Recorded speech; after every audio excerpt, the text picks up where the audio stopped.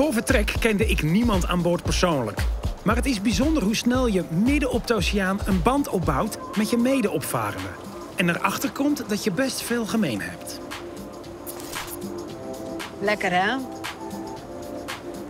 Heb jij al tegen een knakmoment aangezeten? Nee, ik ook niet. Ik knak niet zo snel. Nee. Wel huilerig, maar niet knakken. Ook niet huilerig. Ik heb heus wel eens een kutdag. Ja, Maar ik ben over het algemeen ben ik wel gezellig. ja. Ja, ik ben ook eigenlijk vrij positief ingesteld. En heel eh, blij en dankbaar. Maar dat is wel nog meer gekomen nadat ik eh, beter was verklaard. Ja. Dacht ik helemaal. Oh. Wat moet dat een is bevrijdend... geen tijd om chagrijnig te zijn. Wat moet dat een bevrijdend gevoel geweest zijn? Nou, ook niet. Dat blijft een zwaard van Damocles. Ja, hè?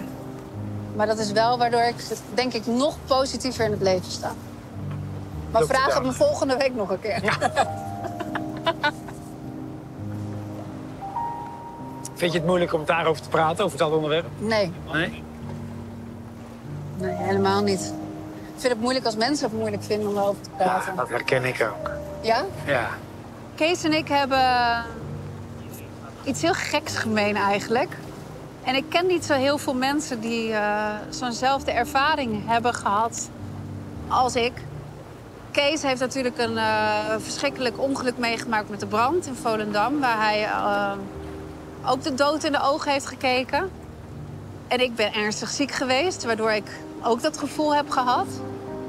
Het is 2000 of 2001.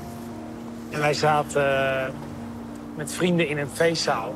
En toen om 12 uur gingen we naar een stamkroeg in. Dat was het hemeltje. Ik was er echt nog maar een kwartiertje in. En dat hele plafond was dus versierd met kersttakken, met echte kersttakken. En toen mocht er ook nog gerookt worden in de bar en in de kroeg. En we hadden ook van die, van die droge sterretjes, weet je. En we weten niet precies wat het was, maar één zo'n tak van de vlam. En ik zie het zo gebeuren. Je ziet het gebeuren. Ja, ik zie het gebeuren. Het zit ook toch over me. Maar wat ik nu vertel, dat was één seconde. Ja. Nog niet eens, die gedachte. En het was Nee, dat je dat moet meemaken, hè? Ja, heel gek. En, en zo plotseling, hè. ja. Je moet, het, je moet het voorstellen, we zitten nu hier...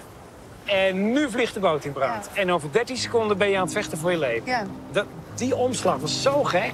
Je hebt allebei iets meegemaakt... waardoor je misschien anders naar het leven gaat kijken. Kijk, en ik vind dat bij haar, in haar geval, is het, is het veel, veel meer eigenlijk. Want ja, Nicolette heeft gewoon kanker gehad. En, en er is altijd een kans... en we gaan ervan uit dat dat natuurlijk niet gebeurt... maar er is altijd een kans dat dat, dat, dat, tegen, dat, dat, dat terugkomt. Ik ben blij dat we er nog zijn, toch? Ach, joh, jezus. Ondanks dat ik nog heel jong was natuurlijk. Ja. Ik was 18. Ja. Maar ik had toen wel, daarna dat het zeg maar allemaal over was... had ik wel zoiets van, oké, nu ga ik dingen doen die ik echt leuk vind. Ja. Ja. Dus nu ga ik gewoon wel achter dat acteren aan. Ja. Nu ga ik gewoon wel achter, dat, achter de televisie aan. Ja. Nu ga ik gewoon wel dingen doen die ik leuk vind. En je hebt echt maar één leven. Ja. Ja. En dat we dan dit nu mogen meemaken. Hij was echt nog wel veel jonger, 19 dacht ik. Ik net eh, de 30 gepasseerd. Maar als je dan zo jong te maken krijgt met de dood. En we hadden iets super daarin gemeen.